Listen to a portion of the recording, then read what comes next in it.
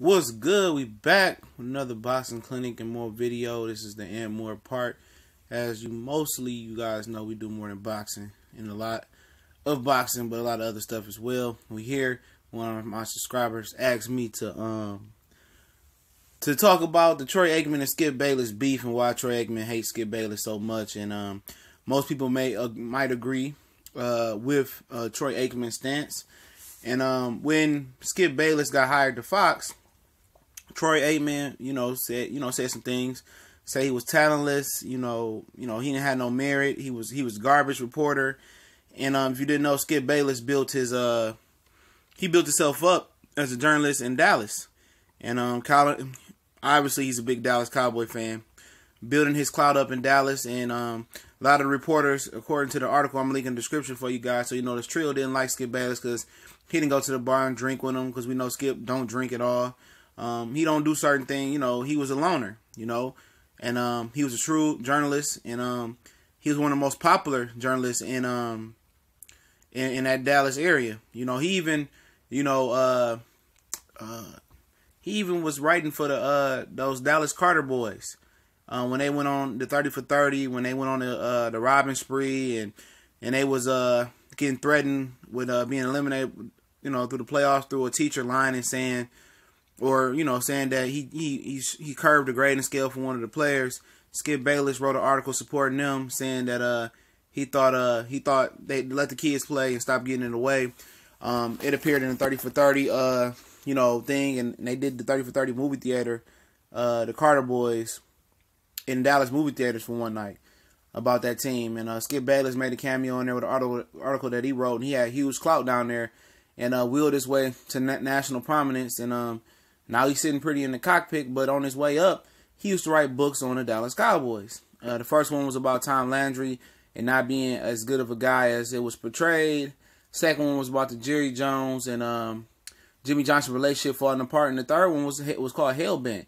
It was it was the tail end of the Dallas Cowboys, um, you know Barry Switzer career, whatever I think it was. That's what it was. It was about that.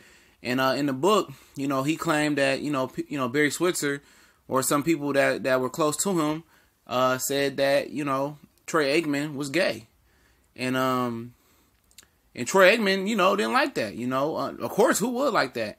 He never said in a book that he thought that Troy Aikman was gay, but he said it, rumors were circulating uh, circulating around, you know, Barry Switzer camp that Aikman was gay in, in Switzer, and Aikman had beef. You know, uh, we know Barry Switzer, you know, pretty much, you know, ran, you know, Jimmy picked off what Jimmy Johnson left off and won a championship with with that Cowboys team. And apparently, you know, you know, Troy and, and Barry Switzer, you know, didn't have a good relationship.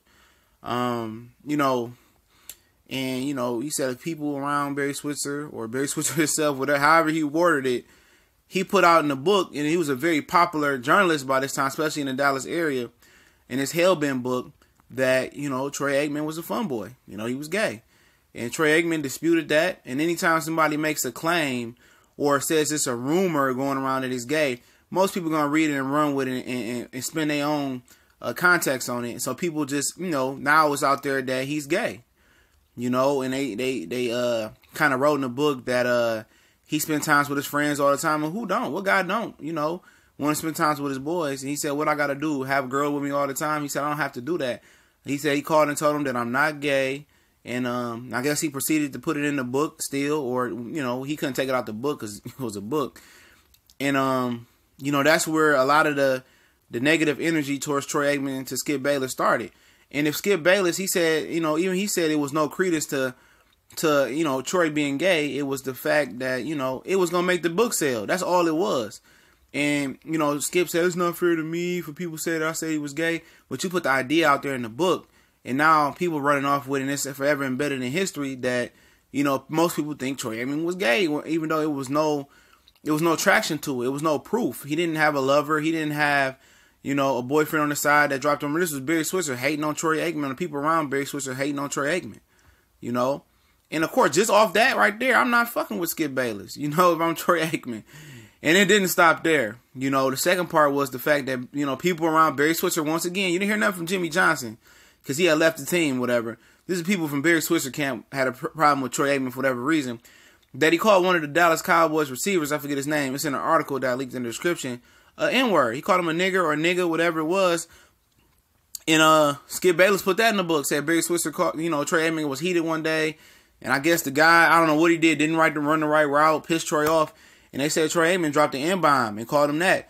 And that alone is, is equally worse, especially looking back in hindsight and, and the race war that's going on in America and, you know, wherever around the world.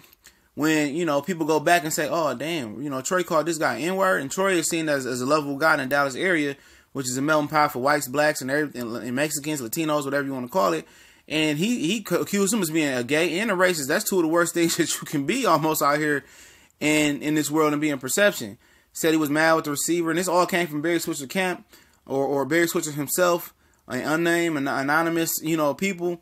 And um, that's pretty much why Troy Aikman hates Skip Bayless. I would hate him too.